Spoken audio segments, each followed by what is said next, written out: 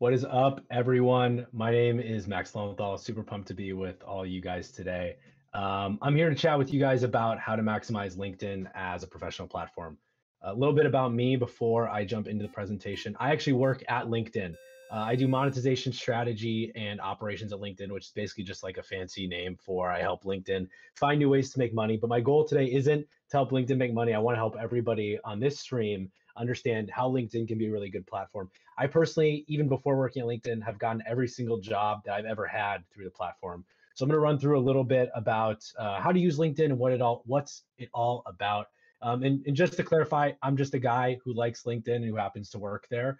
Um, so if you ever have any questions, you're welcome to reach out to me. Uh, in my free time, I actually do write about the video game industry for a newsletter called Master the Meta, where I help break down the industry and what's coming. Last week, we wrote about E3 and Summer Games Fest and the earnings from some big companies. So if you're ever interested in hearing a little more from me about things that aren't related to LinkedIn, you can find me over there. But let's go ahead and jump in, and I'll run through a quick agenda of what I'm looking to do today. So I want to cover four things today. The first one is why folks should use LinkedIn overall and, and why I think it's a great platform and why I work there. The second one I want to talk about is your profile, what should be on your profile, what matters, uh, what kind of information you should have on there. Uh, the third thing is I want to talk a little bit about tapping your network, how you find the right people to reach out to, how you find the right jobs to apply to, things like that. And then I do have the Twitch chat open right next to me. I want to make sure I'm answering some Q&A as well. So if anyone has any questions about professional development, career development, LinkedIn, me, how my day's going. If you want to learn more about me, that's cool too. My day is going good in case anyone is curious. Um, feel free to hit me up and throw it in the Twitch chat, and I will answer your questions at the end. So I'm going to go ahead and jump in. So, what's the deal with LinkedIn? Why does it matter? Everyone knows it's like this professional social media. Um, our, our goal at LinkedIn is to connect people to opportunity. And that doesn't only mean jobs, uh, like some people uh, know about. It means connecting people to mentors, to leaders, to potential people they can market to, advertise to, sell to, uh, learn from. The, the, the company is really all about helping you become a better professional and find more opportunity in your life. And uh, that, that's one of the things that really drew me to working at the company overall. To set the stage, um, LinkedIn has tons of information on it that it's really useful for you to be able to use for your own professional development. Uh, these stats are actually even a little old, so these numbers are, are higher. But we have over 675 million people on the platform, over 50 million companies, a million plus jobs, skills, schools, knowledge. Basically, what I want to talk about today is how can you use all this information that LinkedIn has available for you in order to help build out your professional brand, in order to help build out your professional development and sort of who you are on the internet. Um, before I do that, I want to jump into LinkedIn as a business because I think it's important to understand you know how we're running things behind the scenes so linkedin has four major ways that we make money we sell products that help people hire we help products sell products that help people sell that help people advertise and that help people learn so on the linkedin side we're a company that's owned by microsoft right we're working with other major companies in order to be able to help them use these tools through linkedin the one I want to focus on today, and the one that we're the most known for, is our recruiting products. So it's referred to as LinkedIn Talent Solutions. You might hear me call it LinkedIn Talent Solutions, Talent Solutions, something like that. But these are all of the products and all of the tools at LinkedIn that help you find a job. And this is what we're most known for. But LinkedIn can also do all of this other stuff. So if you ever have questions about any of these other things, hit me up. Definitely happy to help out and happy to put you in touch with the right people. But I want to spend my time today talking about the recruiting, the hiring, and the jobs. So, with that, let's jump in a little bit deeper. I want to start by talking about the LinkedIn profile. And that seems to be the thing that everyone is the most familiar with. It's the place where all of your information lives, it's the place where you really can represent yourself the most. And I want to talk a little bit about why the LinkedIn profile matters first overall. The thing about the profile is it's connected to everything that we do at LinkedIn. So you remember those four businesses I talked about sales, marketing, learning, hiring all of those products allow people to get a more granular look at people's LinkedIn profiles. These profiles are really this sort of hub for who you are on the site. Whenever you comment on something, people look at your LinkedIn profile. Whenever you apply to job, apply to a job, excuse me, people look at your LinkedIn profile. So it's super important that you're building a really strong profile. The four sort of key examples that I think profiles are useful for uh, are jobs, hiring, building personal brand, and connection. So I'm, I'm going to run through each of these and, and sort of why I think these things matter in relation to your profile. And I have a couple examples I think uh, sort of help crystallize these for folks as well. I know they helped me understand why LinkedIn profiles matter. So first and foremost, as I think everybody knows, uh, all of our hiring products on LinkedIn optimize for your profile. So if you apply for a job on LinkedIn, the person on the other side of that application gets your profile.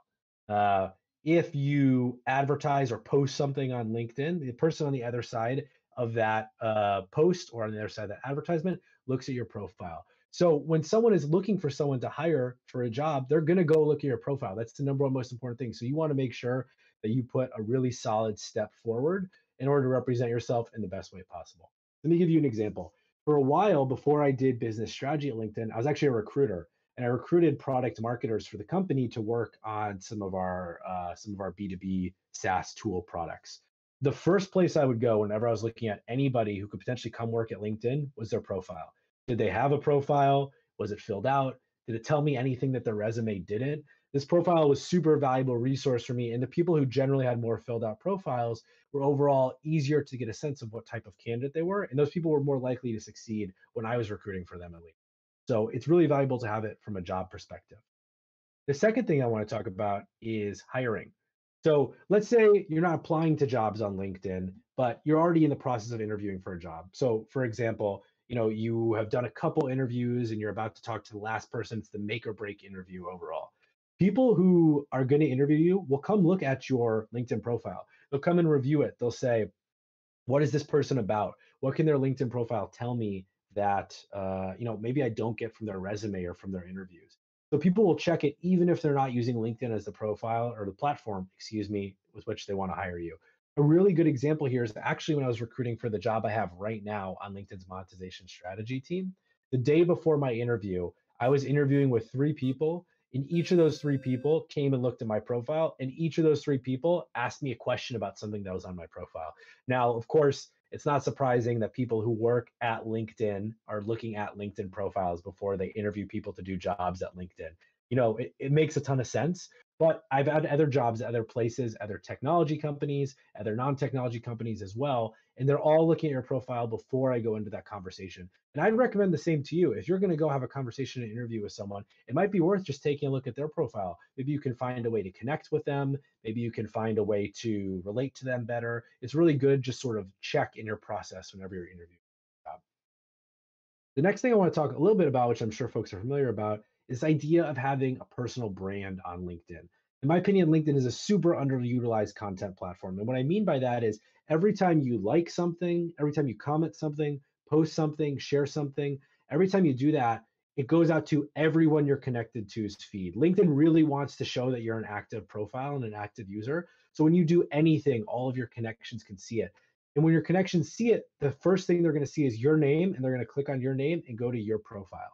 So overall, it's really valuable because LinkedIn is this crazy underutilized content platform. And you're going to post stuff. People are going to say, oh, what's this person about?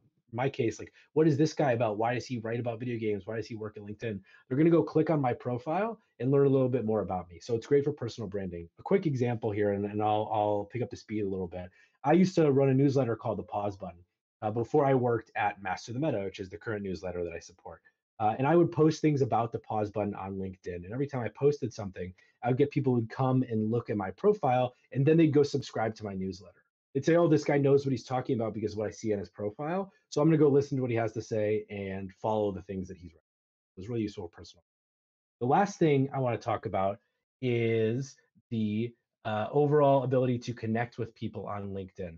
The ability to, you know, stay in connection with coworkers, friends, find mentors, basically everything you do after you leave a job. Uh, and it's really good to be doing this sort of all year round, not only when you're looking for jobs overall, but it's still a really useful um, platform for this sort of process. The example that I want to give is when I actually reached out to somebody who works at Unity, which is the company behind a really popular game engine and sort of like back end game infrastructure system. I thought Unity was a super cool company so I reached out to somebody at the company, shot them a message. I said, Hey, you work at a cool company. Can we have a conversation? And I'll talk a little bit more about the strategy there. but I shot them a, a, message. They looked at my profile. They said, wow, this guy's profile seems legit. And they responded, and I got to have a conversation with them. Ultimately, didn't end up leading to a job, but if I ever want to work at Unity, I now know somebody that I can connect to. So profiles are really valuable overall. I want to talk a little bit about what matters for a really good profile. And there are a couple things I would absolutely call out. The first one is having a picture. And you can see the slide uh, here, right? More connection requests, more profile views, more messages. A photo uh, is a great way to make yourself seem more approachable and be able to connect with more people. The other thing I would say about this picture is you generally want to maintain some sense of professionalism. You'll see in the example, it's a clear, centered headshot of somebody so you can see exactly who they are. Maybe a selfie with your friends, maybe that picture from the night out at the bar that you post on Insta or Twitter. That's probably not the best picture for LinkedIn. What you want is a clear, concise, sort of straight up headshot for your uh, for your LinkedIn profile. The thing that matters the next most is your industry. This is sort of your headline. What do you work in? And when you give LinkedIn this information, they start to show you people who work in the industry that you work in, right? So I get more video game people on my LinkedIn profile because I say I work in gaming overall. Um, so the company and the platform sort of help give you that information more. And by the way, when people are searching for you on LinkedIn, when they're searching for people to hire or people to connect with, they use this as a search filter. Uh, according to our data here, right, 300,000 people search by this filter every single week. So it's important that you have it filled out. The next thing, and, and arguably, I think the most important part of a profile is having a really good summary. And like the slide says here, this is kind of like your elevator pitch. It's it's the information that you couldn't fit on your resume, but that your profile lets you do and lets you expand upon a little bit more. Um, one of the key things I want to really double down on uh, when it comes to a summary is having keywords in there. What are the words that matter the most to the job that you have? So I work in monetization strategy, right? Or I do monetization at LinkedIn. So for me, keywords are go to market, business operations, monetization, right? These are like words that people expect someone with my job to have. So I try and include them in my summary overall. But this is really the meat in the first place people look outside your picture when they're coming to check out your profile. The next most important part, in my opinion, is your work experience. So when you're talking about your work experience, you can upload a position for your company and the title you have. But the real benefit is you can add a couple more sentences about the job you do. In a resume, maybe you can only do one or two bullet points about the job. But with a LinkedIn profile, you can add two or three paragraphs with a couple sentences in them. And that helps give you that extra nuance to sort of vocalize and show yourself. I've gotten the question before where people say, well, maybe I, you know, don't have a traditional professional job. And so I shouldn't put it on my LinkedIn profile. I would totally disagree with that. I think it's awesome to vocalize and share any kind of job you have. Folks come from a variety of different backgrounds. And it's really great to show that you are working and that you are making progress and investing in yourself professionally overall. Um, and, and, we can talk a little bit about specific examples in a second. I already see a comment in the chat that um, that I think is like really relevant here. So I'll keep moving forward and we can we can circle back on this. Uh, the next and sort of underutilized part of this process is adding examples of your work. People don't do this very often because they actually don't know it's a feature, but you can upload pictures, you can upload videos, PowerPoints, links, things about your, what you're doing in your day to day job. And when you upload those things, again, it gives people more nuance to the kind of work you do. So, for example, you know, back when I interned at a technology company in college, I uploaded a picture of me and my intern class doing lots of other intern things together, right? Showing people that, you know, I can work in a team. I uploaded a PowerPoint presentation that I made and said, hey, you know, like I'm able to build presentations and build strategies and things like that, especially if you're in the creative industry. So you do production, video, audio, um, you know, art, design. This media upload section is going to be your best friend to show yourself visually overall in the work that you do. Uh, the last thing I'll mention is well, this may not be the last thing, but one additional thing I'll mention to all of you is adding volunteer experience. I think it's super important to visualize yourself as a realistic person. Like everyone, I saw a comment in the chat about this. We're all like real people, right? We don't want to be like these buttoned up, super professional folks. Adding volunteer experience, if you have it, is a really great way to show people the kinds of things that you care about, the kinds of experiences that you have outside of the workplace and it makes you seem like a more holistic person right the purpose of your linkedin profile isn't to be some like stodgy suit like businessy type person even though it might seem that way the purpose is like show who you are professionally on the internet and volunteer experience is a really good way to do that so again, to summarize the things that matter most on your profile, and I'll touch on these in a second. Uh, picture, a industry and concise headline, and I'll, I'll show you an example here on the next slide. But I mean, again, a quick descriptor of who you are, so someone can look at your headline and say, uh, "Oh, great, I know everything Max is about." Your summary that we spoke about, and again, fill with substance and content, not just buzzwords. Put in keywords for the job you want. Put in numbers and metrics from the job that you've done. That's all super important. Your job experience, of course, this is the meat of your profile. I really recommend not pasting bullet points from your resume. Take some time and write some sentences and add some nuance. Uh, add some work samples, some media. The thing, this is really, like I mentioned, the thing to make your profile stand out. And finally, add some keywords. Recruiters search for you on LinkedIn using keywords. We have a tool that lets them search for the profiles for the people they're looking for. Go to the job you want. Maybe the job description says you need game development experience, free to play experience, user acquisition experience. Put those words in your profile, assuming that you have the relevant experience. Of course, you don't want to lie, but put those words in your profile so that people who you want to find you can find you easier. I really can't double down on this enough. Keywords are super important. Um, let's run through a couple examples. So I have an example of a concise headline and a photo up in the top left corner. It's actually from my own LinkedIn profile. So you'll notice when I talk about the photo, it's you know just me, just a headshot, very professional, very standard white background, very easy to follow. You know exactly who I am from looking. And you'll also notice my headline says exactly what I do. I do monetization at LinkedIn. And at the time, I was co editor of a newsletter called The Pause Button.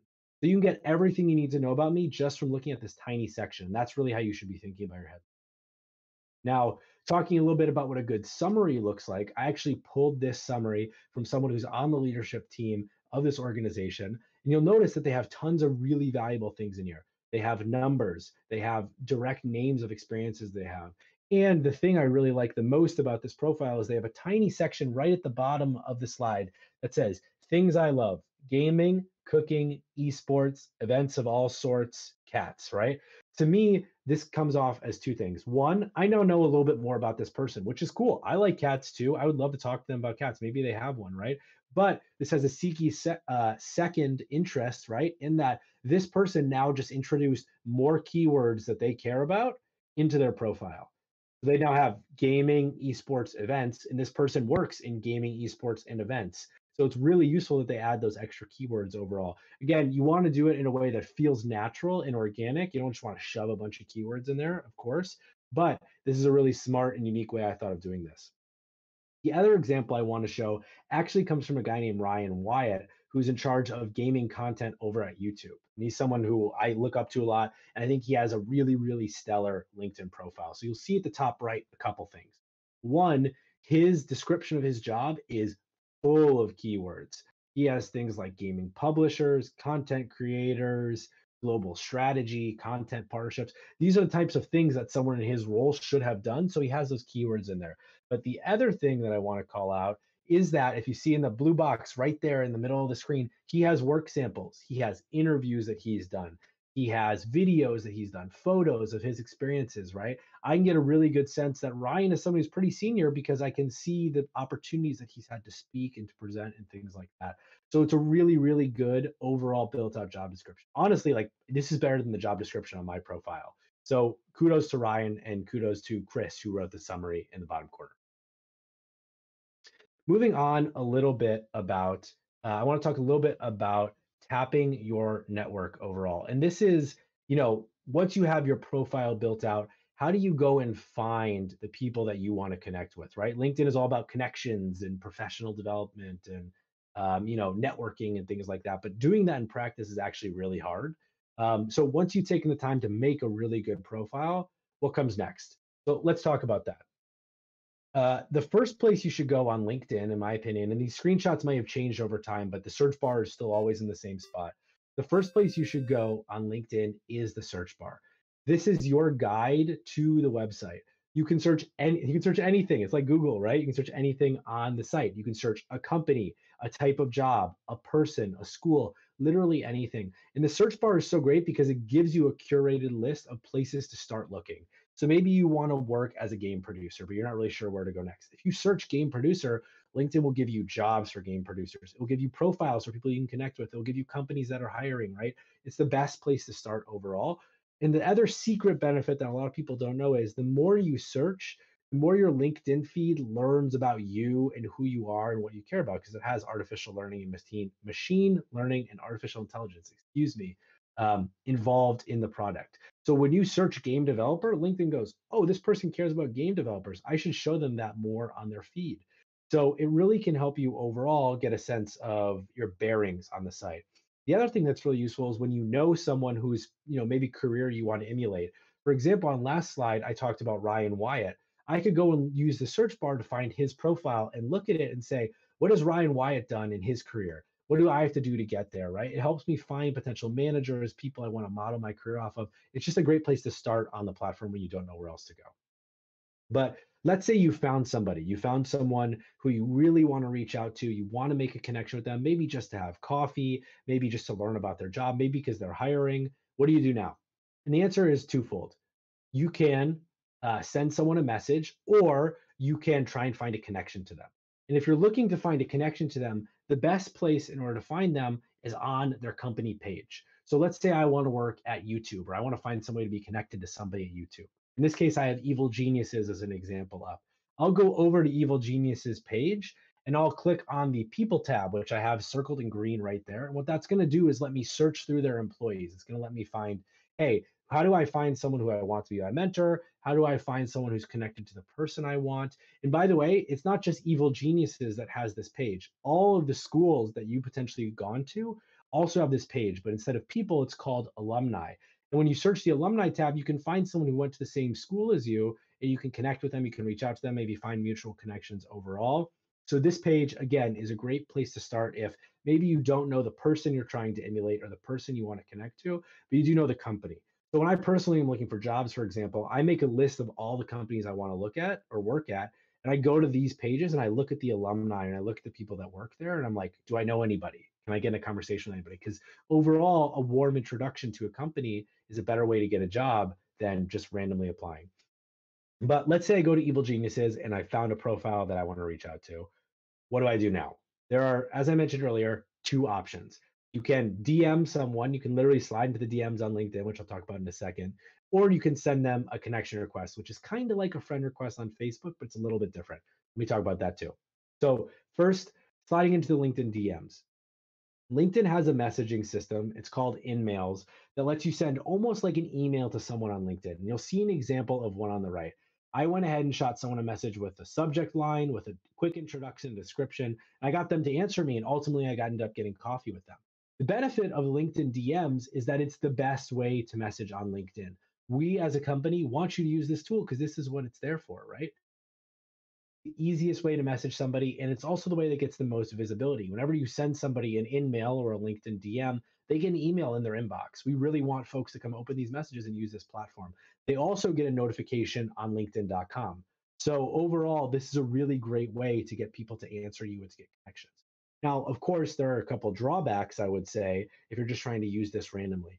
One, this costs money. It costs money to send a DM to somebody on LinkedIn. Um, it's part of our premium subscription. So you might have to shell out a couple bucks in order to message somebody. And, and, that's okay. Sometimes it can be worth it overall. I'll talk about a free option in a second, though, if you're a little more price conscious.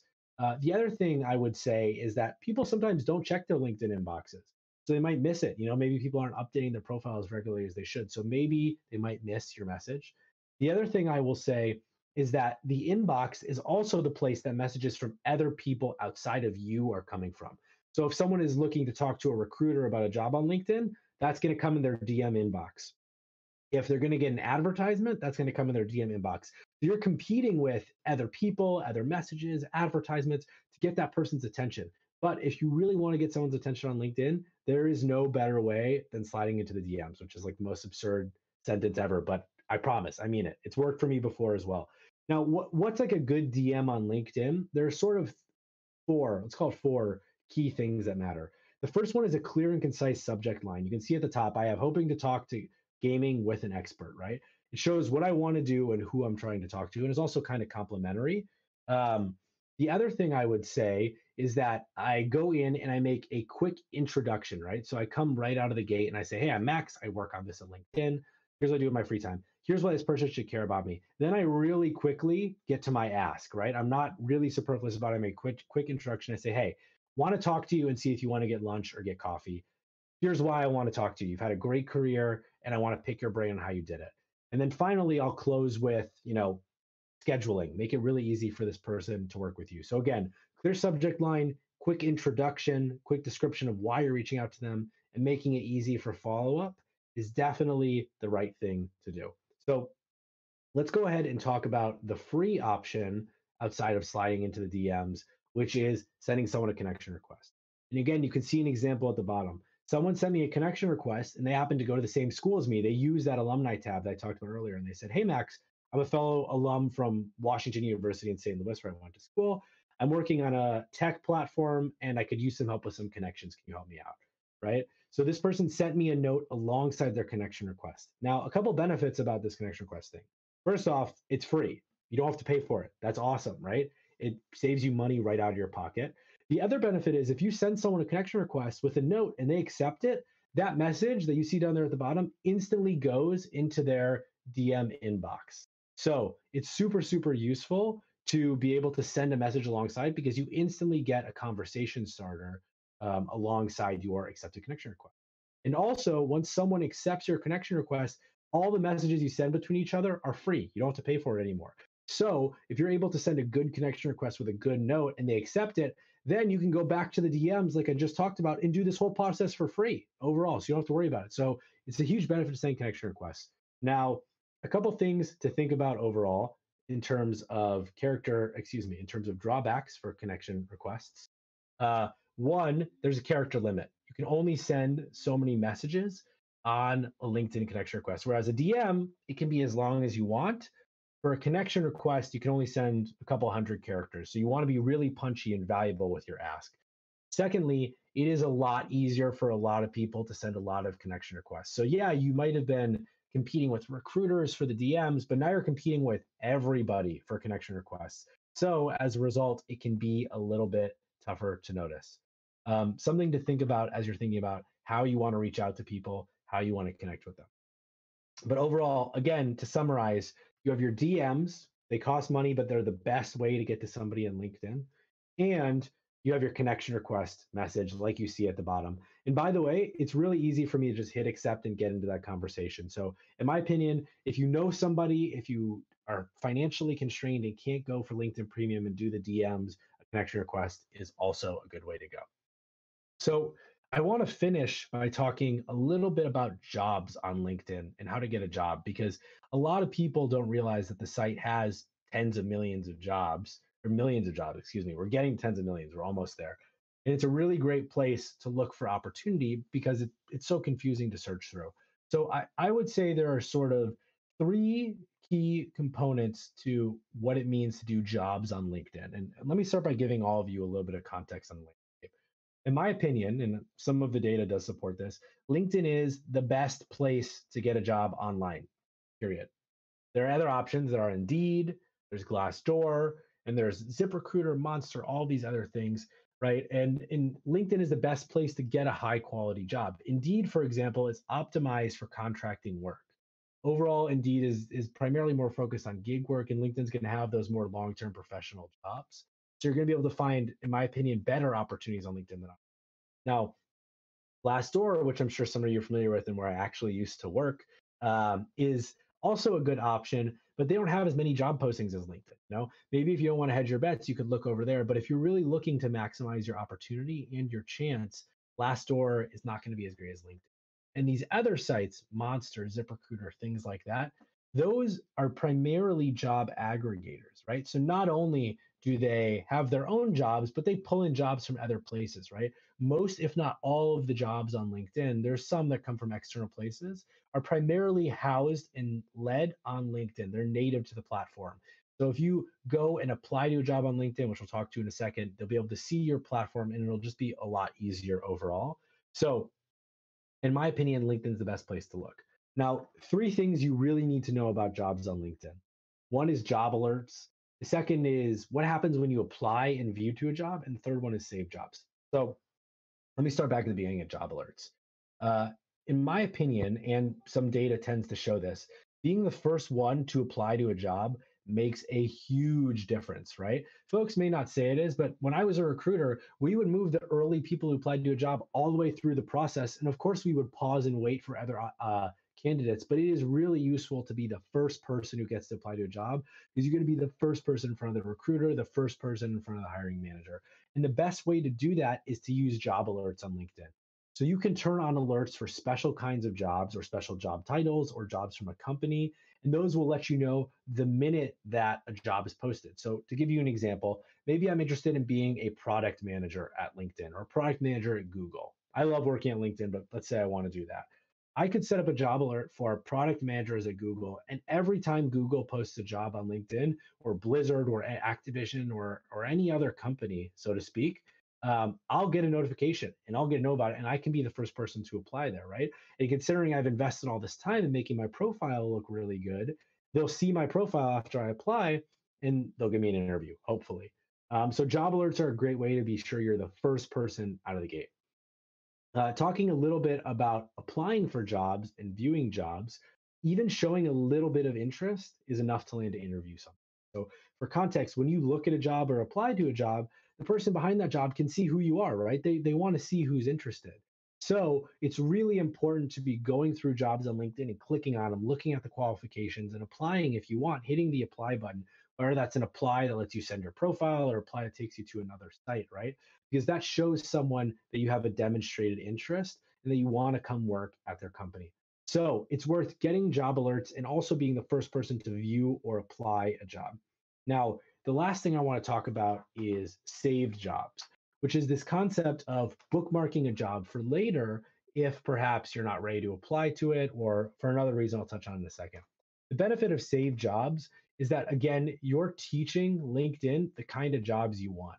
So if I see a job I want as an associate game producer at Riot, right? I can go ahead and save that job. And now LinkedIn knows, hey, I should show Max similar jobs to associate game producer at Riot because he saved that or he applied to it or he set up a job alert to it, right? These are jobs he cares about. And I want him to get the job he wants because that's good for LinkedIn, that's good for our customers, and that's good for the applicant.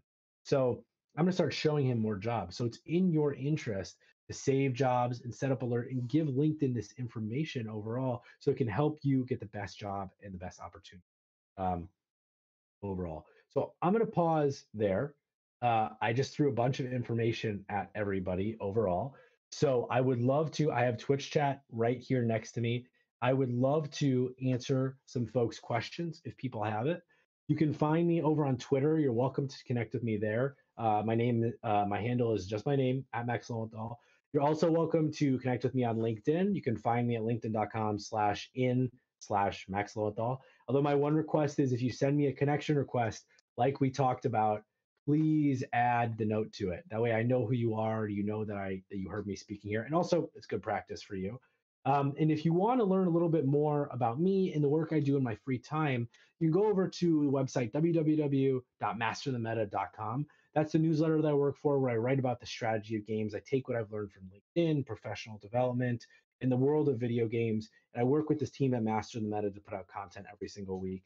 Uh, we write for thousands of people at some of the biggest gaming companies, the biggest investors, you know, everywhere you've sort of heard of before. So you should feel free to come check us out in our free time if you're looking to learn more about the gaming industry or just want to hear more advice from me overall. So I'm going to pause there. I'm going to take a look at chat, which is right down here, and I'm going to answer some questions really quick. So looks like we have a question about the length of the summary. So there's a question from the channel that says, is there a recommendation for the length of a summary? I'm going to go ahead and jump back to that slide super quickly. Um, to show you what I'm talking about. So give me just a moment here. If we look at this example from Ryan Wyatt in the top right corner, you'll notice a couple things. One, again, he has the media, and two, that he has it split into discrete paragraphs. So my recommendation is one to two paragraphs, about two to three sentences each are plenty, right? It should be more than 40 words, but it shouldn't be so long that it's an essay. One thing you'll notice about Ryan is his description, his summary is so long when it comes to his job description you have to click see more. The same thing applies to your summary as to your job description. There's a certain point where if you post too much content, there's going to be a see more button and people won't be able to naturally see it when they come to your profile. So, in my opinion, I think it's super worthwhile to do two to three sentences, two ish paragraphs. You can do a little bit more. You'll see Chris in this example has two sentences, three paragraphs. I think that's plenty, but you don't want to write an essay that people don't have to read. Uh, let's go ahead and take a look at the next question. Um, Wanulu says, I don't know if you're familiar with this, but do you have any advice for people who live in Latin America to use LinkedIn in a better way? Like getting a job for the US because there's little opportunity here to work in the gaming industry. Yeah, I think it's a really, really good question. And um, and it can definitely be tough to get an opportunity. It took me, I applied to LinkedIn, I think three or four times before I, I even ended up working here. So it can be really, really hard to find these opportunities. My advice to you would be to go ahead and look at this connection feature that we discussed, right? Can you make warm connections with people who can help you get your foot in the door? Because just cold applying to jobs is really, really difficult and often puts you at the bottom of the pile uh, because everyone is referring their friends and all these other things. So, my recommendation to you when you're looking to get a new job or you're struggling to do this is to send connection requests and build relationships with people. And the best thing you can do is not message someone saying, Hey, can you refer me? Can I have a job? Instead, you message them and say, Hey, can I have 30 minutes of your time? And you ask them a bunch of questions about their job. That does a couple things.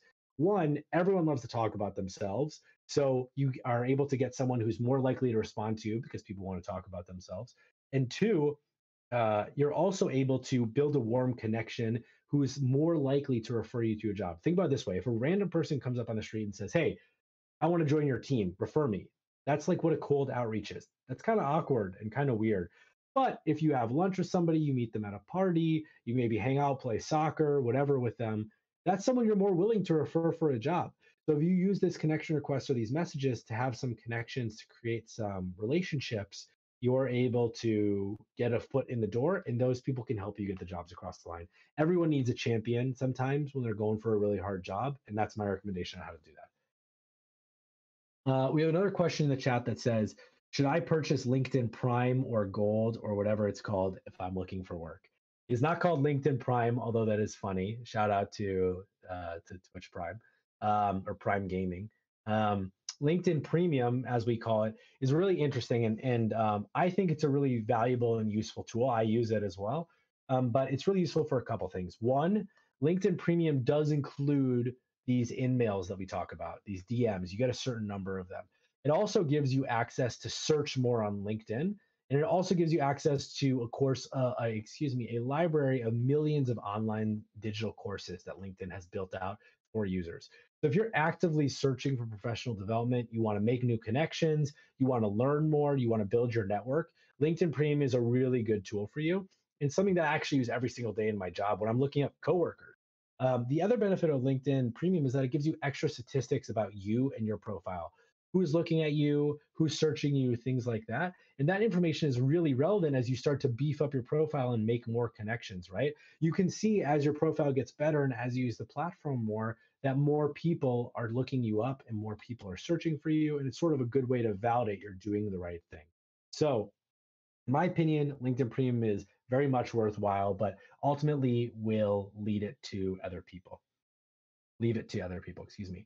We have another question here that says, I've heard of people that get super mad about people adding them on LinkedIn without knowing them. That's a really good question. Is it really bad to add someone just because you want to stay in touch with them? This is something that is super, super important. I want to really emphasize as we talk about reaching out to folks. Um, LinkedIn has a button when someone ignores your connection request that says, I don't know this person.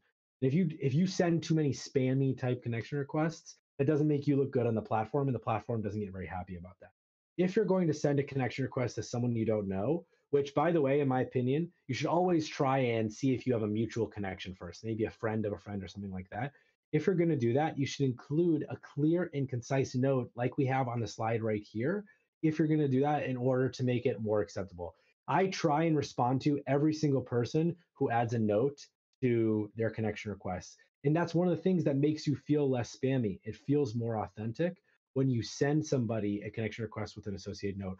But again, everything in moderation, everybody. You don't want to send out 500 connection requests. You don't want to send out to everyone in existence. Be thoughtful. Take your time, do your research, figure out who you want to reach out to and why they matter, and send those people the connection requests. And I promise you, you'll likely get a response. Let's see here. Um, another question. I am struggling uh, popping my bubble. This is a really good question. Currently, I don't have that many game dev related contacts. How can someone pop this bubble? I love this idea of your sphere of influence in your professional community as a bubble and how you sort of not pop the bubble, but how do you make the bubble bigger a little bit, right? I think the thing is twofold. One is through these types of connection requests, right? Send thoughtful notes to people that help you um, get into conversations with them. The second key is once you have those conversations, spend time preparing. Ask really useful, thoughtful questions what do you not like about your job what do you like do you like about your job what's the hardest part about your job what are your career aspirations ask really thoughtful questions once you meet somebody new and they'll want to stay in touch with you. The other thing i'll say is again a warm connection is better than a cold connection. So if you have a friend who's related to game dev or who's connected through game dev uh, ask them to introduce you to someone they know. If you have one of these networking calls with somebody through a connection request um, you know at the end of the call ask them if there's anybody they think you should talk to right feel free to ask people to recommend you so you can build your network and leverage the network of other people. The other thing I'd recommend is uh, I really am a big fan of platforms like Discord and Twitter. I know this group has a really fantastic Discord of which I'm a member, where you can connect with other people, right? Where are the places on the internet, even on like Overwatch, whatever, right? Or WoW, or whatever games you want to play. Um, you know, where are the places on the internet that the people you want to work with live? Go there, contribute, be a part of the community make questions, uh, excuse me, ask questions, make friends, and participate. And that's going to really help you expand that bubble outwards. Uh, next question Does LinkedIn prevent folks at your current job from seeing when you're interested in other jobs? That's a bomb question. Uh, LinkedIn has a feature that lets you i actually i don't have it on here but i'll just tell you all about it that lets you raise your hand and say i'm interested in looking at new jobs uh, and when recruiters are using LinkedIn, they can see that hand raise. They can see what's called interested in new opportunities and whether someone is or isn't. Here's the caveat though anyone who works at your company cannot see that. So you are in no danger of raising your hand or saying that you're looking for new work um, on LinkedIn. There should be no retaliation. And if your company retaliates against you for looking for new jobs anyway, maybe you don't want to work there in the first place. I understand there's, of course, extenuating circumstances, but no, LinkedIn will not tell your employer when um, when you're looking for a new job. Next question here from one of the mods. What is the best way to tailor your experience in the experience section? Bulleted and to the point or being more fun and professional? Does it depend what industry you work in? In my opinion, bullets are never the way to go. I can see bullet points on your resume. Give me a little bit more information about you. My actually, as it exists today, my work experience section is intentionally really short because I'm really happy with my job at LinkedIn and I don't really want to leave and, and, and build it out. But what I would say with someone like Ryan Wyatt, he has a really depth and wide depth and breadth of experience that he's highlighting here. And even if you only had a limited number of experience, talk about what you did, do it in a casual way. I do think things matter a little bit depending on what industry you're in. For example, I love the gaming industry because it's a little more casual and a little more fun. So it's okay to write, you know, some things a little bit more casual. You'll see, for example, Chris, who wrote the concise summary that I highlight in this slide, put at the bottom that she loves cats. I think that's cool. I dig cats too, right? If I'm in the gaming industry, I'm be like, oh, Chris likes cats. That's sweet. Me too. You know, so it does depend on the industry. There are some industries that are more professional more sort of highbrow, wherever you want to um, consider it. And you might want to be more professional there, but especially in an industry like games, it's okay to let your personality come through a little bit. It's kind of what you're trying to do here, right? You're trying to show people who you are with your. Let's see here. We have another question in the chat. What recommendations do you have for a person pivoting from one industry into the next? What's the best way to optimize your LinkedIn profile to reflect the new industry they're in or want to be in? That is a super good question. And it's something that I think about all the time as someone who works at LinkedIn and might want to work in the gaming industry one day, right? What's tough is if you don't have professional experience, it can be difficult to represent your experiences on your profile. The number one thing I would recommend do recommend doing if you're ever trying to do an industry pivot, and this is less related to LinkedIn and more just professional career advice, is finding opportunities to break into that industry through small, tiny things. For example, uh, I was speaking with the producer who runs this Twitch channel, right? He's interested in building out a career as a producer in gaming, and he works through this industry, excuse me, this channel as a way to build out his professional experience overall. And he ends up producing uh, opportunities and uh, streams through this channel for like tens of thousands of people, right?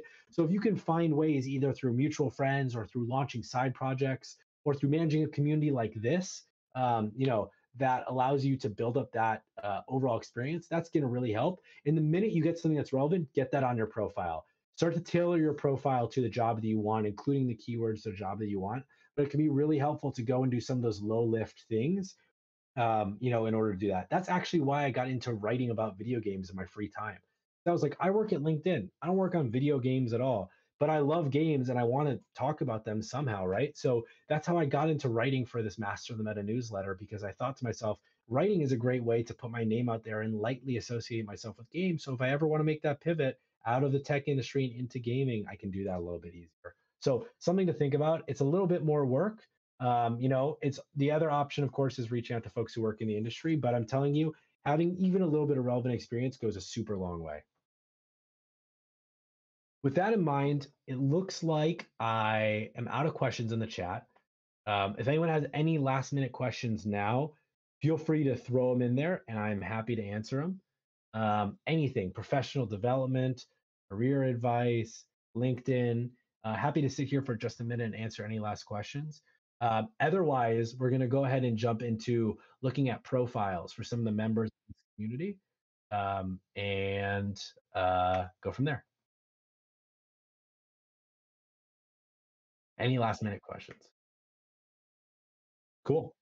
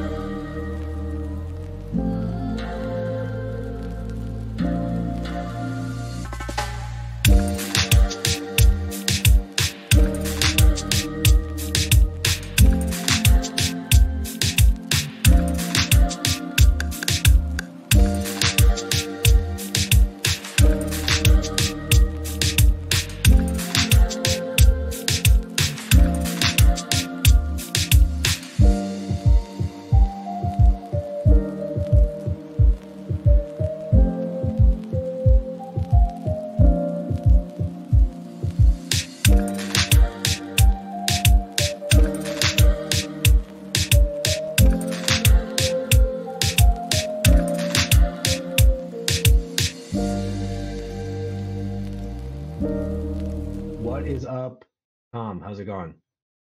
I'm fine, thank you. How, how, how, how doing? I, I entered very early when before this started, so yeah. Uh, yeah. No worries, no worries. So I'm pumped to I'm pumped to review your profile with you. I actually am gonna take a sip of water though really quick because I just did a lot of talking. Okay. Um, it will be super helpful, Tom, as we review your profile for everybody here. Could you maybe start by giving me a little bit of background on who you are, what it is you want to do, and maybe I can uh, offer some advice on you know ways to make your profile even better. Well, I started uh, like 13 years ago. I started working on television here in Argentina. Uh, yeah.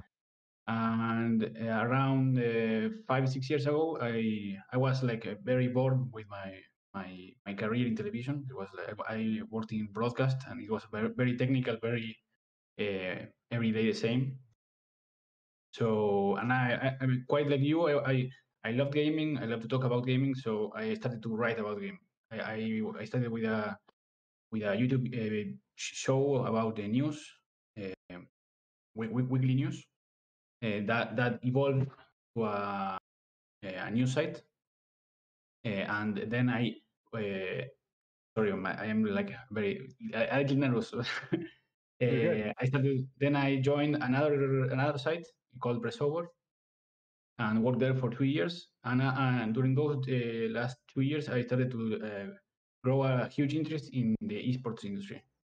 Got it. how was in Argentina was grow, growing very fast, very and making a lot of a lot of noise because we had a king uh, in Fortnite, we had a 9z in in CS:GO. Uh, so and, and I wanted to be a part of that and got the opportunity to work in comms in so, so, social media yeah. for LVP, which is a, a, Spanish organization that works in here in, in Latin America, uh, being the community manager for their CSGO uh, league. Nice. And around uh, that, that was uh, February of 2020. On August of 2020, uh, someone approached me about working for uh, KRÜ Esports, which, which is uh, Sergio Agüero's uh, esports organization. Yeah. And from then I, I started to like full time. I, I decided to leave my my. I still kept my, my job on television during during all this time, and up until December, where I decided that it was three works uh, simultaneously was like too much. So uh, it was the time to to make the full jump to esports. Yeah. And, yeah. and since then, I, I'm enjoying the my new life in, in the esports industry. Yeah, but, no, I to- totally totally makes sense about like wanting to make the jump. I get it. Sometimes you're kind of like, I just got to do it. This is like my dream. It's like what I want to do, but it's nerve it's nerve wracking.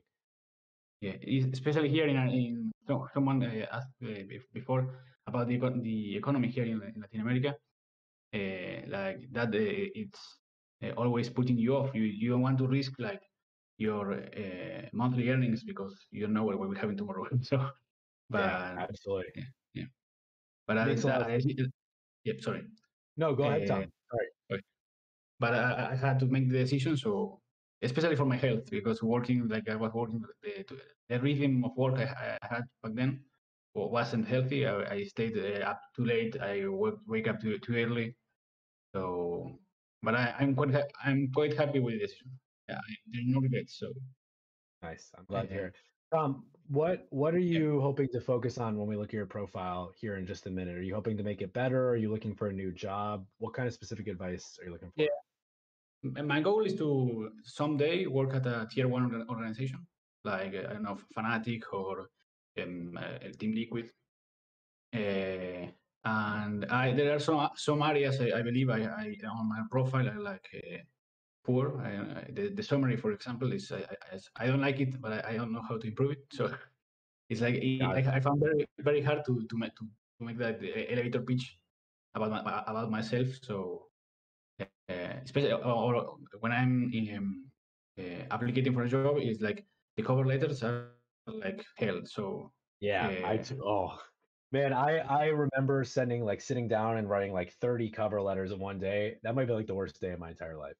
So I totally get it. Um, and no, I'm, I, I understand the hype too. I mean, I have a hundred thieves on hat right uh, hat on right now. I'm a huge esports fan as well. I used to play competitive Super Smash Brothers Melee. I wasn't very okay. good. Um, so I kind of I, ret- I retired early. We can put it that way. Let's take a look at your profile though, Tom, and, and let me give you a couple thoughts okay. um, overall here. So a couple things that jump out to me right off the bat. One, your picture, uh, your header picture, and your commu- and your headline, excuse me, are fantastic. You did a really good job here. I know exactly what you're doing. It's a super clear picture. Your picture, honestly, might even be better than mine. I really like it, um, and and I get a sense for like who you are right out of the gate. Um, scrolling down here to your summary, it also is about the right length of what we're looking for, and it tells me what it is you do. You work in visual media. You have keywords in there like OTT and VOD um, journalism, community management, things like that. The one recommendation I would make about your about or your summary section is maybe to add a line break in there. You'll notice just when you look at sort of four or five lines, it can just be a lot to read. So you want to pretend to yourself that you're someone who doesn't know anything about you, and how can you make it as easy as possible for them to understand who you are? The next thing I want to chat about is you use this featured section, which I actually didn't talk about in my presentation, but this is like a secret LinkedIn pro tip. So I'm, I'm super impressed here. What this featured section lets you do is it lets you put forward, for people who aren't familiar, lets you put forward the work that you're most proud of. So I used to have links to my writing in there, my newsletters. And so what you have in here, Tom, is a resume. What I would actually recommend is, is there any work that you've done, any um, you know, TV TV industry work or any community work that you have uh, resources. Maybe that's a picture or statistics or presentations or video recordings or YouTube videos. Could you highlight those in there? And the reason I say that is your LinkedIn profile should be able to replace your resume. So you shouldn't need to put your resume on your profile. Instead, you could use this space to put the work that you're the most proud of in there. I mean, if you don't have any, the resume is okay too. But in my opinion, it sounds like you've done a lot of really cool, interesting work. So as long as your previous employers or current employers don't have any problems with you sharing, um, you know, some content, I think it could be a good place to put some stuff. Uh, would it be would it be okay to put like um, uh, some articles I wrote, or yeah, even though they, they, are in the in the resume section? Yeah, yeah, absolutely. Okay. Um, no, no problem. I mean, um, in my opinion, either put them here or put them down in your work experience at the bottom where you can attach stuff. But um, okay. overall, in my opinion, I would, if I know you can write, I would love to be able to see it as easy as possible, right? If I'm thinking about hiring you for a role that involves writing, so make it super simple for me to be able to do that. Uh, someone asked who's my main in the chat, by the way. I main Sheik for Super Smash Brothers Melee. Again, not very good, but um, but I try. The the other piece of advice I give you here, Tom, looking at this is I, I I love how you have your work experience laid out. You have everything on here, and to me, it shows me that you have like a really diverse work experience that uh, is sort of like built out over time. It helps you become a really strong candidate, in my opinion. The thing you're missing, like I just spoke about, though, is those work samples. So if you have work samples, link statistics that you can put overall. But I actually think your work experience is is in a really really good spot. This is a profile that like says to me like this person knows how production and like writing and community management works in gaming because you have so many varied experiences. So this profile feels to me like it's like 99% of the way there, right? Can you add a couple of these things to give people a more holistic view of who you are? And then, in my opinion, I think you're in the right place to start messaging people, right? It's better than sending out random cover letters or randomly applying. Can you message people at tier one, tier two organizations on LinkedIn and say, hey, I can we chat about how you broke in, right? Is there anyone who comes from a similar background as you, similar geolocation? Um, you know, because I honestly I think you have like a really good profile. This is like fantastic. I so, Thanks.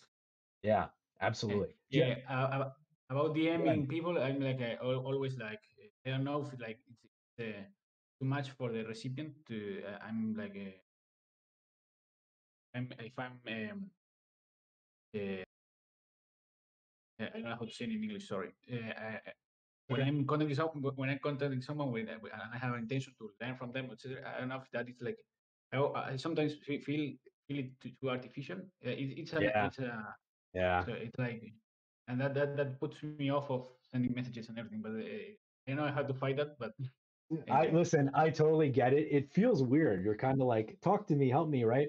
That's why I rec- can you make it more natural? It's always nice to find a connection request with somebody. So going back to the example from my presentation, Chris uh, from this organization ha- says she likes cats in her profile. Maybe my connection request will be like, oh no way, you. I would love to chat with you about uh, you know, what it is, the work that you do through this organization. Um, you know, also I love cats too. What kind of cat do you have? You know, can you find some way to make a personal connection request? The other thing I would say is it's just kind of awkward sometimes to put yourself out there. Like, you know, I'm sitting here like talking to a webcam and things like that. You just got to push yourself to do it because if it works out, you got a new job and you're doing your dream career, right? So sometimes the risk is worth it, even if it can just feel like a little bit outside your comfort. Thank you. Yeah. Do you have any other uh, questions? Uh, I don't think so. It, it was like a, I need to I need I need to make those those corrections and maybe rewrite my about section. Yeah. Yeah. And and I I never understood featured like featured was for content. I, I thought it was like okay, put your resume here for uh, someone to download. So sure. It's great to know that. yeah, yeah. No, no, uh, no problem, Tom. If you want, uh, feel free to send me a connection request. I see some people at the top have already been doing that, um, and I can take another look at it after you do it. But uh, I'll be honest with you, you should be really proud of yourself. This is like a really good profile, um, and I think there's like a couple minor things you need to do, and then I think you can start using LinkedIn to help you sort of go after that tier one organization. Uh, uh one question about yeah. Uh, this this uh, bilingual profile, Spanish mm-hmm. English. Yeah is, is there a, a, way to write my the same the same profile I did here in, in English but in Spanish, or that's not compatible in? So LinkedIn does have the ability to work in multiple languages, um, and my understanding is that it it works on the language of the native speaker. Um, I have to check up on that for you to be totally honest. Uh, unfortunately, English is English is the only language I speak, um, so I don't have like a direct answer to that. But overall, I think if you were able to convert the words that you have in English here into uh, Spanish or another language, uh, you still would have like plenty of quality content. So I, I, would recommend, you know, maybe just having a friend look at your profile and seeing if it's still in English or if it's translated or not. And worst comes to worst, you could always add like a couple dashes and then maybe put your about profile translated to Spanish below it in case someone, you know, oh, can't yeah. read the English description. Um, so there are ways to sort of get around that if you really need to. Okay. Cool. All right. Well, Good. Tom, it was great to chat with you. Um, I think we're going to jump into another profile review here, but feel free to send me a connection request if you want to chat. Perfect. I'll do it. Thank you. Thank you for the help and, uh, and the chat before. Yeah, of course. Absolutely.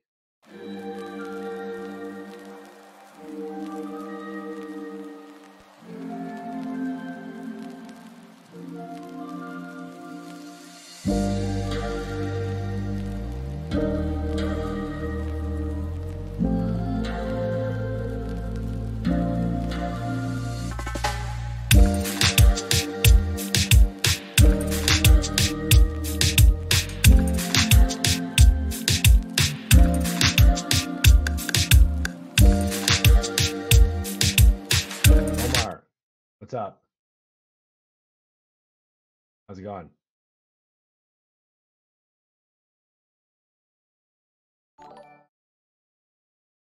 Hey, Omar, I think we might be having a couple mic issues. Just give us a minute here.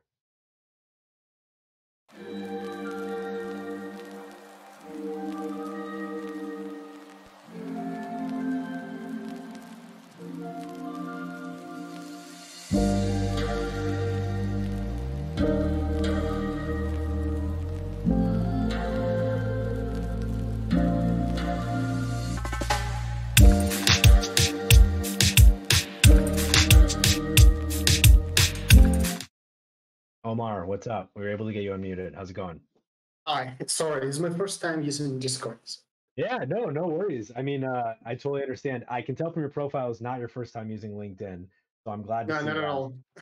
um, but uh, yeah, I'm excited to look at your profile. I, I think a great place to start, Omar. Uh, first off, super cool that you have a PhD and a master's in computer science. I studied computer science in school as well, so um, kindred spirit. But could you maybe start by telling me a little bit about who you are and kind of how, what I can help you with, what you're kind of looking to do?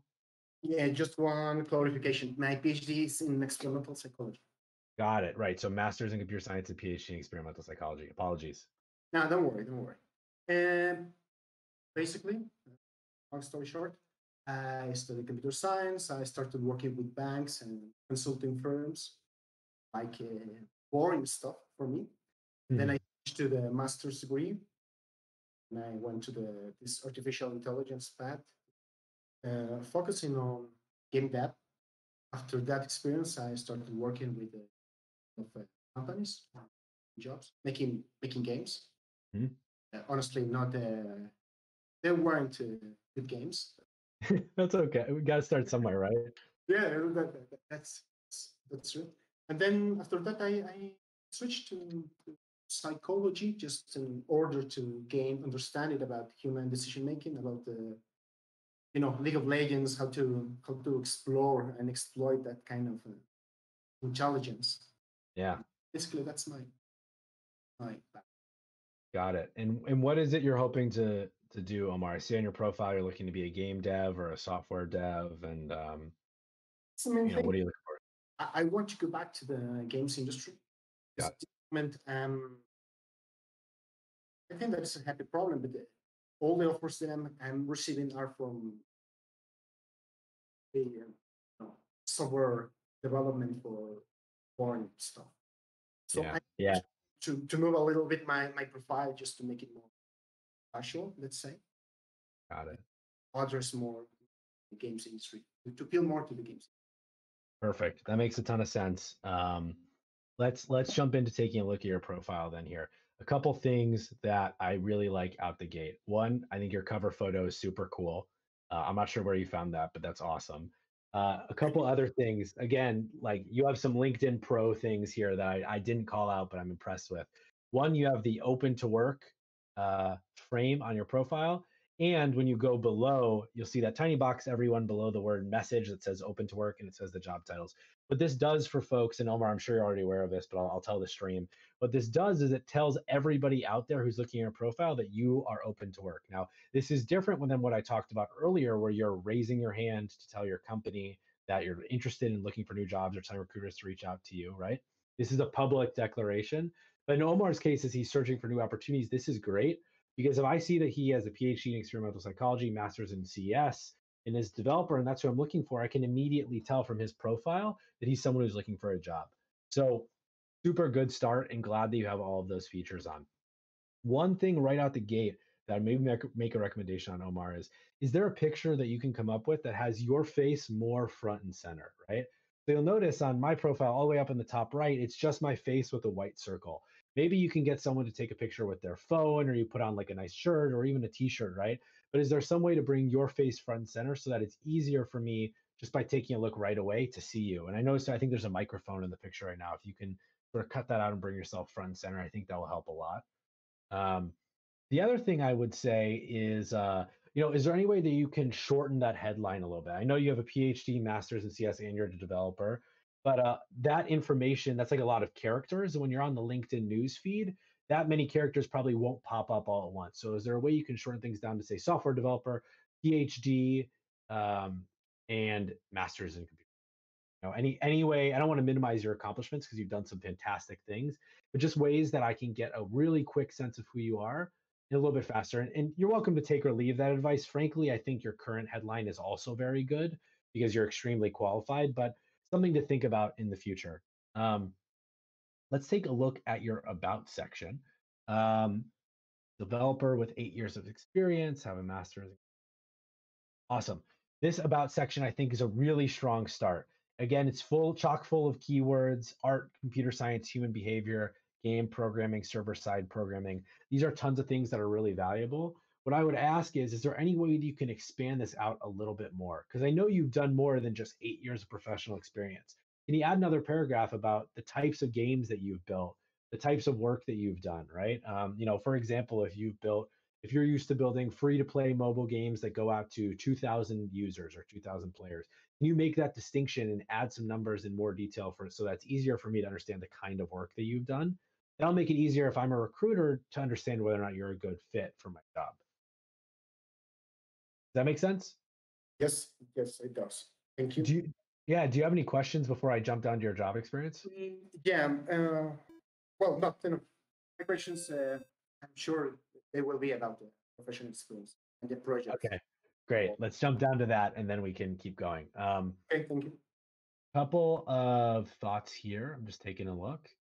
Um, one, great job again. Um, I like how filled out this is. Um, and I like the level of detail that you're going to. And I really like that you have these trailers and these media experiences in here, especially for game dev. That's the best way to represent yourself. And it looks, even if we're looking at your profile, you look super legit. You have a PhD, you have a master's, and you have all this game work experience. That's super legit to me. Now, a couple pieces of feedback I'd give you. One is there are a lot of work experiences in here, so it's difficult for me to understand what's relevant and what's not. If you're looking to work in the game development industry, can you tailor your work experience, which is great that you've worked on so many things, a little bit more specifically to games? What on here matters and is going to make you look like a better candidate for me when I'm looking at game development? Um, you know, programming, lead programmer on games, working at Hollow Games, those are things that I'm going to see, or and smart games as well. Those things I'm going to see. That's like this person is a killer candidate. But um, some of these other experiences might be a little less relevant. I just want the work experience to make it as easy as possible for me to understand. So I know I said add as much work experience as you can, but you also do want to be targeted with the kind of content that you put on your profile to make sure that if some random person who has the dream job and is recruiting looks at your profile, they can really quickly get a sense of who you are. Does that make sense? Yes, and um, well, I think that the my idea behind this kind of um, the thing is that usually you you need to craft a cover letter, right? Mm-hmm. So I'm using just a LinkedIn like the this uh, like the original background, the original experience, and then uh, in the cover letter, I'm addressing uh, each, each uh, occasion. So Got it. to handle that. Yeah, I think that makes sense. In an ideal world, though, wouldn't it be great if we didn't have to write? I hate cover letters personally. Wouldn't it be great if we didn't have to write cover letters and your LinkedIn could accurately represent the cover letter a little bit more, right? I think about the the length of work, the length of the descriptions your work experience is about right, but can you find a way so that you know I could you could bypass the cover letter overall and I could really quick, like a really fast uh, sense, understand who you are. Um, you know, and then you can double down on that even more in the cover letter. So what you maybe would have spent time writing about in the cover letter before is now on your LinkedIn profile, and you can spend the rest of the cover letter focusing on more specific. Does that make sense? Yes, it does. Got it. Got it. Yeah. Um, again, really love your media examples uh, as well. Looking for a couple other things here. Um, love the description that you added to your education, particularly the call out of who you worked under for your thesis. Um, mad props to you again on having a PhD. That's incredibly impressive. Uh, let's see what else here. I like that you have your license and certification as well uh, for Java programming. I used to study computer science as well. I was did program in Java. I wasn't particularly good at it though. Um, and I also like that you have your skills section down here. These show the things that you care about, plus your your projects and your accomplishments like that. So overall, Omar, I think this is a really strong profile. I think my biggest piece of advice again would be sort of condensing uh, turning it from like a CV sort of thing into like a really condensed profile so that you can send it out to people who work at the places you want to work and let them understand who you are really fast and get them to get back to you, answer even more quickly. Does that make sense? Yes. Okay. Thank you. Yeah. Yeah. Do you have any other questions before we jump to the next person? Um, just the last, uh, the, well, the question is, how do you handle when you are with, I work for a bad game. Mm-hmm it's, it's good to i mean it's related with the portfolio thing it's good to put your bad uh, your bad example of work yeah oh so you're asking should i put my bad stuff on there or just the best stuff exactly. got it yeah here here's my take everyone has to start somewhere right it, i like i mentioned i write about video games in my free time i went back the other day and read the first thing i ever wrote and I was literally pulling my hair out. It was so bad. It was almost unreadable, right? But it was my first step. And especially when you're trying to break into an industry, being able to show that you've increased your skills over time is really valuable, right? So maybe you focus in and you just have your game development experience on here and you show here's the first thing I worked on, the second thing, the third thing. You'll be able to see you you've like grown. I know how programming works. You you've grown as a designer and as a developer and as a game programmer, right? your products are to each one's to be better than the last so in my opinion be proud of those first projects um, and put them out there overall because they're showcasing who you are and, and what you could do at the time and um, and the relevant work experience right? And shows that you can learn in my opinion if you're getting better over time shows that you can come in and try your best and and self manage and then and then get better over time. So that's my take on that. You should be proud. Thank you. Thank you and also thank you for your talk. Yeah absolutely. Great. It was awesome to talk to you. We're going to go ahead and pull up our next uh, person here.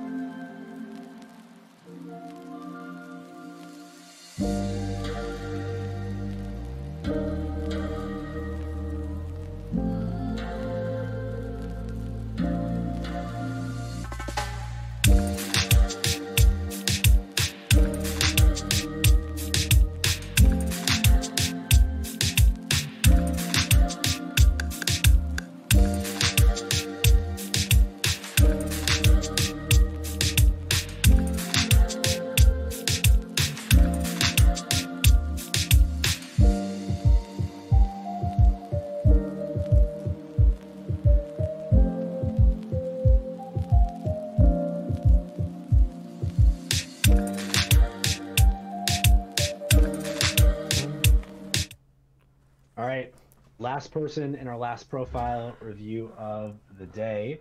Uh, we actually have the producer behind this stream, the person who's been making this whole thing working, uh, and has worked with me for weeks on end to make sure we can get this presentation right. Uh, Zoram, how's it going? Yo, yo, yo, what's popping? It's going. The stream's going. We at Latinx in Gaming have been putting in work, and you know, going soon. Yeah. We have a lot of uh, panels, webinars, and you know, a big agenda coming up for the rest of this month. So stay tuned and follow us, you know, on Twitter and what you know, all that. Yeah, yeah, of course. No, I huge shout out to Latinx in Gaming Group for being able to put this on. Um, I've worked with this group a bunch of times before, and y'all are like some of the best professional development and just like online gaming goodness and community that I've seen. Um, and you're killing it with the stream production. So good job. Hell yeah, thank you. So let's uh, let's kill my profile real quick. Yeah, yeah. It, I I already took a look at it earlier, so I'm sure it's good. But for the people uh people on the stream, could you tell us a little bit more about like who you are, what you do, and what it is you're trying to do with your career? So I recently, I know the person before has got a master's and a PhD and a bachelor's. I don't have either of those either. It's okay. I recently got my bachelor's from San Francisco State University, uh, broadcasting yeah. and electronics communication arts. So just uh, you know, looking for work you know, in the studio, I want to press some buttons. Um, you know, uh, you know, press some buttons, maybe be on air, everything in between, behind the camera, lighting. Um, and yeah, I'm open to work. Yes, yes. Got yes. it. Is there um, is there anything in particular you've done in the production field before that might be worth talking about? Uh, I've worked at uh, volunteer at Gameheads. They teach students how to video game develop. I put on their streams, nice. and I've worked at the Oakland Esports Arena at their studio for the streams. Um, I've done a lot of video- videography. I push content for that organization, and then here at Latinx and Games, we uh, we promote and we put these streams on and make some highlights, and you know just push a platform for all the other folks that you know want to get exposed and whatnot. Yeah, of course. What Zorm's not telling everybody on the stream is that he produced a stream with like twenty thousand viewers on it. Oh yeah, yeah, yeah. Very ca- very casual about that. I I don't even know if I've met twenty thousand people in my entire life. So just saying, big deal on stream right now. Let's uh let's jump into your profile uh super quick and we can explore what we got here. Um first off, couple call outs, great profile picture. I think it does a really good job. Show, I'm, you know, I'm gonna send you a connection request right now. Oh. And I'm gonna add a note. Stay connected. um, uh, this profile picture does a great job representing who you are and your personality. And the cover photo does the exact same thing. So I think you got it. You're killing it overall. One thing I'm going to notice though is that you don't have a headline. It just says you live in the San Francisco Bay Area, which is where I used to live. So it's a bummer I just moved away. We could have hung out, Damn. but no, no headline overall. Is that just is that just because you're you're sort of on the hunt, or what do you think? I I just I probably just didn't know that feature existed until uh, today. So the headline. Yeah. Put all good. Add a head. Yeah, add a headline, and and I know you're you said you're working for production uh, content and looking for production jobs in gaming, right? Go ahead and add like uh, you know lead producer or whatever, however you identify your title. It looks like down here you have broadcast technician at Latinx in Gaming, right? I mean, this is a legitimate organization. We have hundreds of people on the stream. I think you should give yourself some love there. Um, okay. The other thing I would say to you, people you may not click. The other thing I would say to you is I, I love the start of your summary it's a good couple sentences um, and it tells me a little bit about who you are but i think you could do more here right i think this could be twice the length and i think you could fill this with more information what i what i'm getting the sense is i kind of get that you do broadcasting and i get that you work with Gameheads and latinx in gaming but as someone who has tried to run my own stream before there is way more technical things that you're not giving yourself credit for including like overlay design uh, like management direction, like all, all these things on the stream that you're managing that uh, have all these like special terminologies and phrases, right? So I would recommend if I was you, expand this out a little bit more. Talk about Latinx in Gaming. Say, you know, I produce streams for tens of thousands of people and call out some of those specific skills and software that you know how to use. OBS, right? Uh, Twitch channel management, things like that. I don't really know how to produce, so I'm trying to sound like I know what I'm talking about. Okay. But um, you know, any keywords that you know are like a big deal for you in the job that you do. All right, sweet. Taking notes. Put some keywords. Yeah, absolutely. Stuff. Okay. I uh, I like that you have the featured section in here as well. Uh, what what is this site? Is this just like a portfolio? Uh, it's a portfolio of some videos I've produced. Yeah, and some of these videos I'm interviewing folks or cool. yeah, so a mix of everything. Cool, cool. So, and do you have any of those videos down here? Okay, it looks like not. No. What I would recommend to you, first off, I think it's a, it's cool and it's a good call to put your portfolio in the featured section. Um, it can direct people, you know, if you have a more creative role and LinkedIn isn't doing a good job representing, I can direct people right place. Uh, but I would recommend putting VODs, putting screenshots. Someone screenshot this right now, actually. Clip this right now. We can put this on his LinkedIn profile. Uh, put uh, put clips and and videos and everything on your profile underneath your work experience because you worked in something that has an AV uh, type of asset, and that's going to be the most valuable for expanding out your LinkedIn profile. Okay, okay, and I should probably put like a description right there next to a uh, Latinx. Yeah, yeah, that is the that is the other thing I would say. I would add a description to the Latinx in Gaming group. Again, talk about what kind of software you use, what kind of reach you have, how many people you work with. Um, I'm happy to take a look at it once you get something in there, but um, I think that's a great way to do it. I love what you have for Gameheads. Uh, oh, it's long. Okay, cool. We'll talk about this in a second. I love the opening sentence that you have for Gameheads because it tells me about what Gameheads is. But now I'm seeing broadcaster and video producer. This looks like bullet points that you just copied and pasted from your resume. I'm, I'm, so, yeah, damn, so you're good at this. My rec- yeah, I've seen a couple profiles. My recommendation for you is how can we turn those bullet points into sentences, right? So, for example, you have a bunch of bullet points for broadcaster and a bunch of bullet points for video producer. First off, let's take those bullet points for broadcaster and put them under the broadcaster description we have down here at the bottom, right? So that way things are delineated by each job that you've had. Then let's turn those bullet points into descriptions, right? So I'm going to take a look at the broadcaster one. I'm going to, I'm going to make something up on the spot. Um, work with Gameheads to broadcast the annual Gameheads annual showcase, which went live to 600 people, consisting of live presentations, audience, and DJs. Built a technical production plan alongside one of Oakland's biggest game, one of California's biggest gaming uh, venues, the Oakland Esports Arena. Directed, produced, and run the show while managing a team of eight people. Right, like you see, you see how like kind of smooth that rolls off the tongue um, comparatively. Yeah, yeah. It, sounds like you're talking to somebody, and when yeah, exactly. Yeah, yeah, yeah. Exactly, okay, exactly, exactly. Um, and again, would add uh, that you have tons of great experiences here, but turning these from bullet points into sentences is going to be your best bet, um, especially for like Gamers EDU. If you can add a couple things, helpful. I'll give you like one example. The one of the first like real real jobs I ever had. I used to like shovel snow and like rake leaves, and do all this stuff as a kid. Was um, I worked at a startup that made websites for furniture companies called FurnitureDealer.net, and like it's really hard to write. I learned so much about furniture. My job was like learning about furniture, right? And like it's like, oh, how do I write that? How do I put that in my profile, right? I was still able to turn the fact that I like built out websites about rugs, you know, into a couple sentences. So even if you think like, um, you know, whatever the work I did at some organization isn't worth it, like as long as it relates overall to the story you're trying to tell, um, you know, like a director assistant, production assistant, keep it on there and add a couple sentences. Okay. Okay. Cool. Cool. Cool. Cool. Cool. Um, what else we got? I like your skills. Shout out San Francisco State University. That's a great school. Um, and you actually have something on here I didn't know if I was going to see, and I'm super happy about. You have a recommendation. So for people who aren't aware, LinkedIn has a recommendation feature that lets people you've worked with write nice things about you on your profile. And that's like the best feeling ever because one, it's cool when people say nice things about you. And two, when someone's looking to hire you, um, people will go and look at your profile and see sparkling recommendations from people. So if you're ever leaving a job and you're leaving on good terms, it could be a good idea to ask someone to write you a recommendation, right? It seems like on your hmm. profile, you have someone you worked with at SFSU to improve student life, organize students, right? Like that's a nice recommendation and says to me like this guy is not all talk based on his profile. Like he is about like everything he says he's about. Okay, okay. That's good. That's good. Yeah, I saw that one day and I just accepted it. I wasn't sure what where it was going to pop cool. up. Well, then shout out shout out to, to Anna. Anna Navarro then for for hooking up with the recommendation. But you um you know you can actually actively request people you've worked with. So like every time I leave a job, I send a, a request for a recommendation to a manager, and usually they ask you to write one back. You can give recommendations as well. It doesn't look like you've given anyone yet.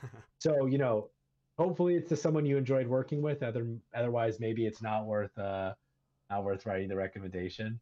But uh, I've had that happen to me a couple times. Someone's like, write a recommendation about me, and I'm like, mm, I really like working with you, so I'm not to do that. Uh, but it's a it's a good move overall. Um, otherwise, man, great profile. Um, do you have any specific questions that I can answer for you? Um, yeah, I was um wondering what should we be posting and sharing. Um, what's like I I like comedy, but I don't know if LinkedIn is like the comedy platform to yeah, yeah, stuff, right? right? Yeah, that's a good. Yeah, that's um, a good one. Uh, I see. I see on here you have some activity. You've been posting some Latinx in Gaming stuff. Uh, we can click on one of your posts right now, actually, which features yours truly.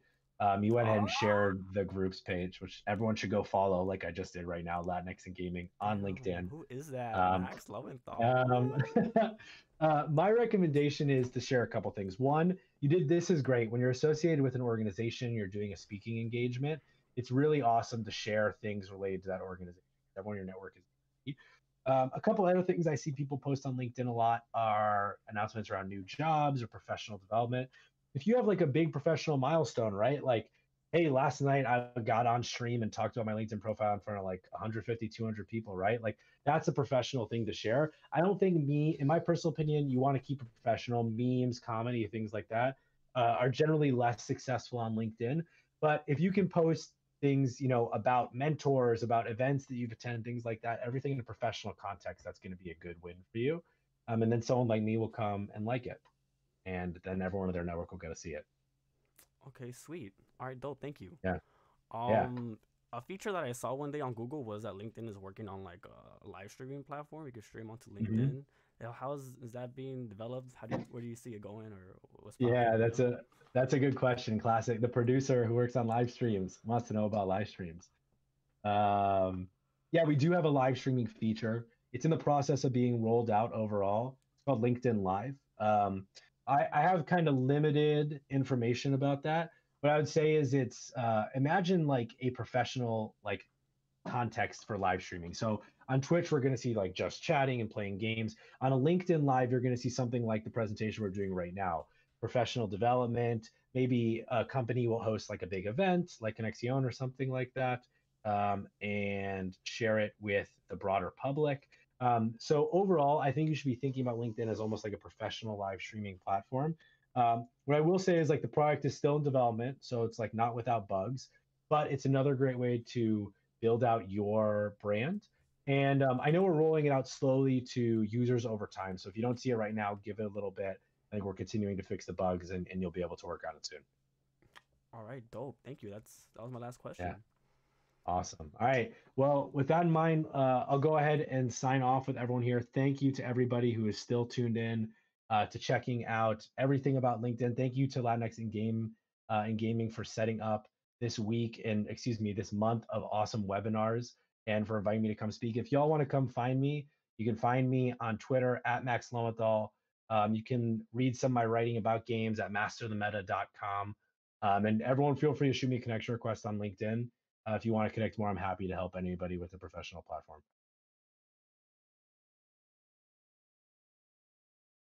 Catch y'all later. Bye.